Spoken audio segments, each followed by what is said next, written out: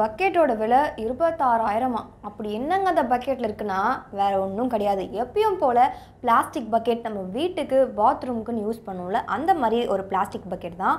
ஆனால் ஒரு e commerce வெப்சைட்டான அமேசானில் அந்த பக்கெட் பார்த்திங்கன்னா இருபத்தஞ்சாயிரத்து தொள்ளாயிரத்து தொண்ணூத்தொன்பது ரூபாய் அதாவது இருபத்தாறாயிரத்துக்கு ஒரு ரூபாய் கம்மி அப்படின்னு சொல்லி போட்டிருக்காங்க.